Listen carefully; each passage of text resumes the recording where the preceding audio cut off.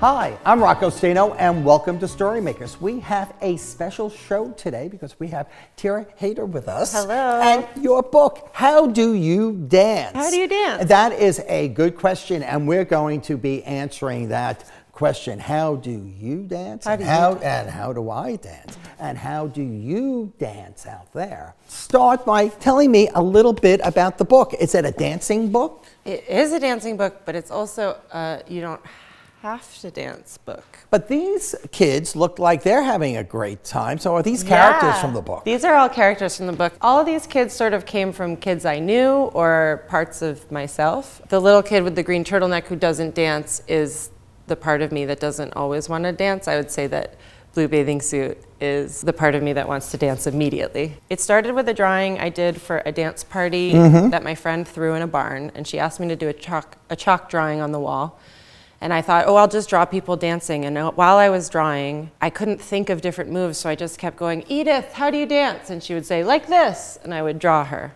And I would say, Ada, how do you dance? And she'd say, like this. And I would draw her. And I thought, oh, that's such a funny idea for a book. Like this, like this, like this. And it would just all be real people dancing. I didn't want to make a book about professional dancers. I wanted to make a book about real dancers. So then I started asking my friends to send me their videos. Like my friend Aurora sent a video where she was scrunching up her shoulders really high.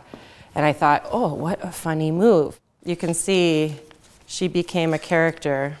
These videos that people sent me became ideas for the book, and then most of the book is actually based on real people. Oh, These they're all all- real people. Really? My friend Edith, Uh huh. my dog Toby, Oh, Toby, and there's me. Right there. Okay. I wish I would have known this because I would have sent in I a know. video so that would I have could. looked so good in the illustration, the that's little bow with tie. the little bow tie, right? oh, here's our friend that's back here, right? Yeah, Joseph. Yeah, here's Joseph. He goes, maybe you have no bones, and then Joseph's kind of like like this, right? Or maybe you are made of metal. So I guess he's doing the robot, Yeah, right? that is that is a version of the robot. I tried to practice the robot Mm-hmm. for that page. It was very hard. I watched a lot of robot videos. You have this spread, which is two pages of uh, drawings Mm-hmm. that are connected, and it says, try some new moves. Well, you know, I'm always looking for some new moves. well, I figured sometimes people need a little help to start. You know, some people like Blue Bathing Suit want to dance immediately. Some people might be a little shy, might not want to. So I thought I would give some ideas. Mm-hmm. Um, and I would love to see maybe Oh, if you I'm always looking. one. I'm always looking for a new move. So what I am going to do, I am just going to do a random point to see what move I am going to do. the Mister. The Mister, I can do the Mister. That's an easy one for me. Let me see. The Mister. That's a good mister. I'm gonna do the windy. The Windy. Very good. What about the sneak? Oh, I don't know how to do this. What about the jiggle? Okay. Good jiggle. Okay. What about moving your fingers? What about moving your face? What about moving your knees? What about moving your toes? You can't see my toes, but they're going crazy. Uh-huh. This is what I like to do to get really weird. Aha. What if you have no bones? Sort of like the jiggle. But then suddenly you're made of metal. Why don't you join us? Uh, you can all be robots. You can all jiggle.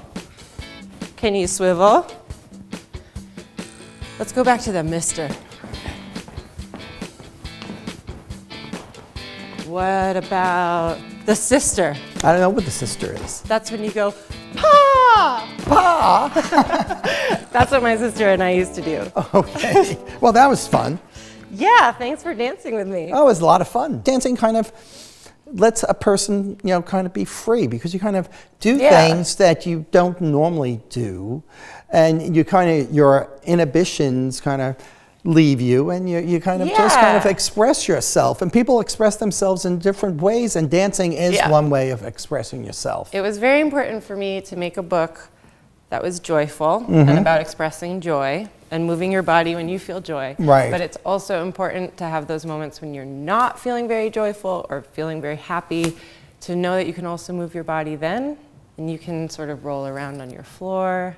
You can dance alone in your room. I thought, oh, that's also a good idea to show moving on a sad day. So that's why I have that spread that says good days, rainy days, sad days, even. Sometimes you just need to flop around until you feel better.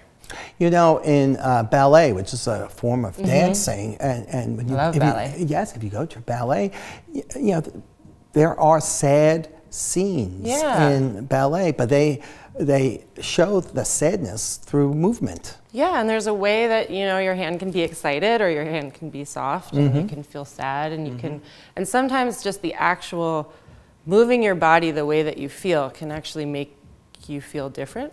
Right. and or just feel comforting. I like to sway when I feel sad, and then suddenly I, it feels better. Yeah, this was a lot of fun because Yeah. I, I got a new dance move, maybe a few new dance moves. Yeah. And you those in your pocket, Yes. I'm going to. And uh, and there's a, a hashtag that you Yes. use. It's what's the hashtag?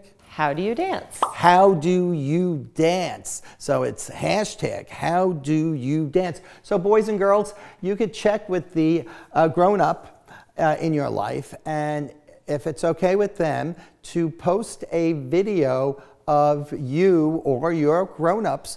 Uh, dancing with the hashtag how do you dance and we'd like to see those and maybe i will post one of Yes, me doing the please. mister Yes. Thank you again for being Yeah, here. and thank I you for can't, having Yes, me. and I can't wait to try out some of those moves. I know. Thanks for letting me throw a party. In Yes. so remember, until next time, read a book in any format.